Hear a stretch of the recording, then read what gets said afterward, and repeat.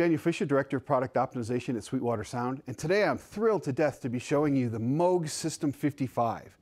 Now, I studied on one of these 35 years ago at Northern Illinois University, and I'm telling you, this is an exact recreation of that. It looks the same, it sounds the same. It's made from original parts. The circuit boards are made based on the original films, um, and it is made exactly in the same way. It sounds the same way. It is an awesome beast.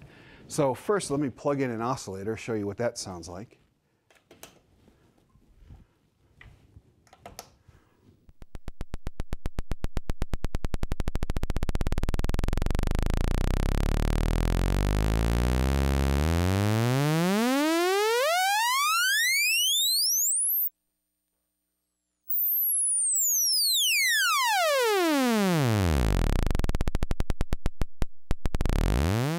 Of course, it has the Moog low pass filter as well as a high pass filter.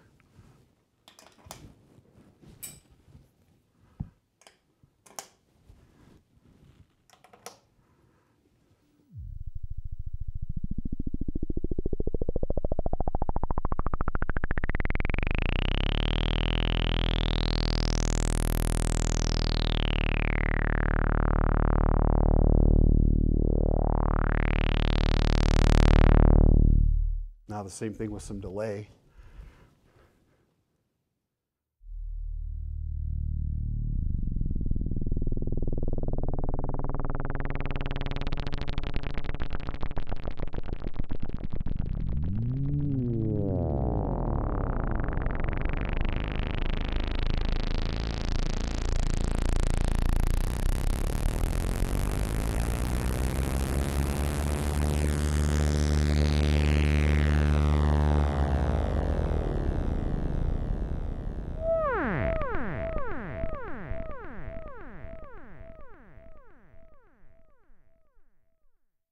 And then they have this fixed filter bank.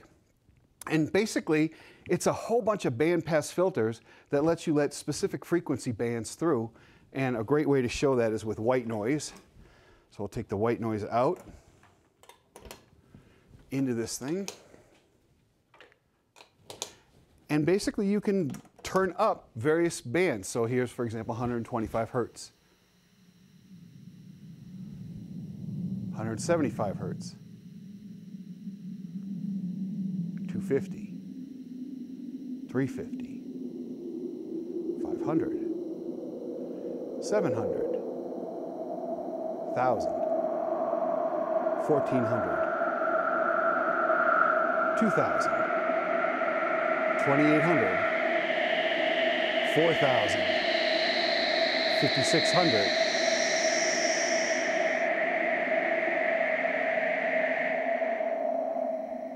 As well as high pass and a low pass.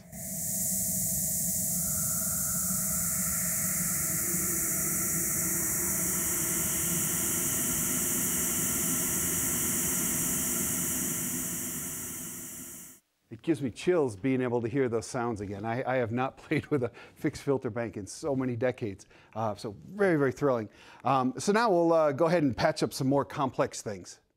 So one of the first things you want to do is hear three of the oscillators going at the same time. It's quite amazing. So we'll just plug in three of these beasts. We'll take sawtooth out.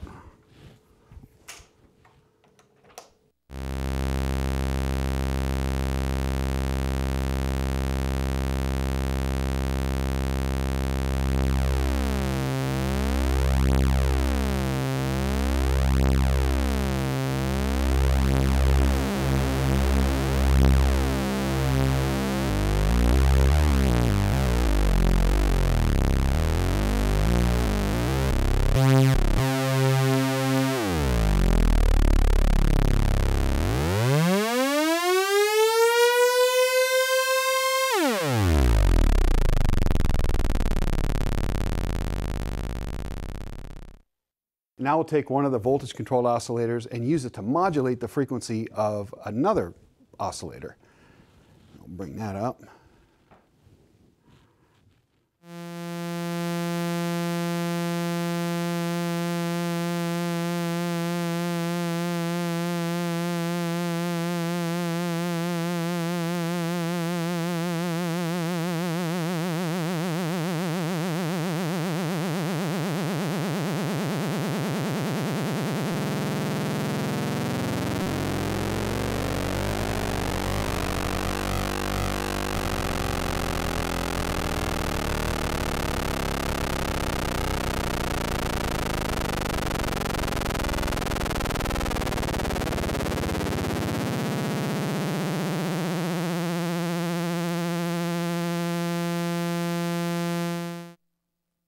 All right, let's see what this does.